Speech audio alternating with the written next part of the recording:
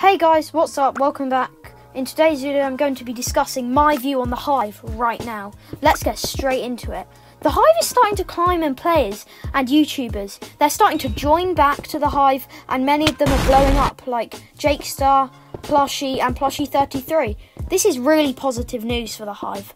The new update, which came with like new UI, and new pet, which is I think is really cool. And they're starting to add new UI for the voting of maps, which will come soon, and I'm really excited for that. This has made me 10 times more interested in the Hive. Thanks for watching. See ya in the next one.